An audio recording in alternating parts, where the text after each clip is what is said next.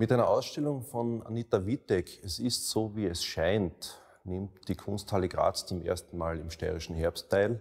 Ihr Projekt behandelt den Umraum der Kunsthalle Graz und die Stadtentwicklungsprobleme im Umraum der Kunsthalle Graz, die in der Konrad von Ötzendorf Straße gelegen ist. Sie entwickelt eine begehbare Collage aus gefundenen Materialien wie Werbemittel, historischen Ansichten und Ansichten der Kunsthalle Graz in einer Collage, die im Inneren der Kunsthalle zu sehen sein wird.